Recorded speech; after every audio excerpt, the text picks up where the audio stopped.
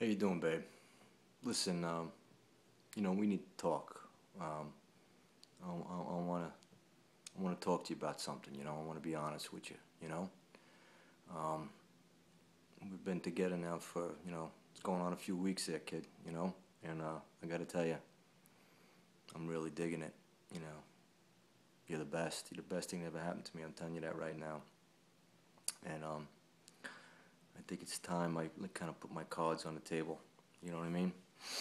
And um, it's kind of hard to say, you know. I ain't the sensitive type, but you know, it gets to this point, you know, before we go any further, you know, um, I'm gonna have to just uh, gonna have to talk to you about something. So I hope you don't mind. Listen, um, you know, you're 31 years old, you know, and me, you know, let's face it, you know, like, uh, you know, I'm I'm a little sensitive. I'm sorry, you know. Like Wendy said in uh, in Peter Pan, you know, I'm ever so much more than 20, you know. That's me. And um, anyway, listen. You know, when we first met at the bar, fell for you, kid, you know? And, um,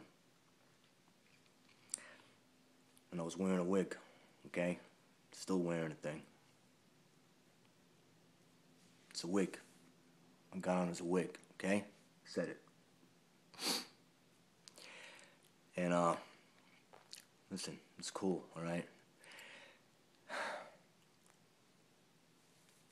Listen, kiddo, you just brace yourself, all right?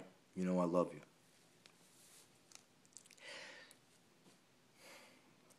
Okay? Sorry, all right? Sorry.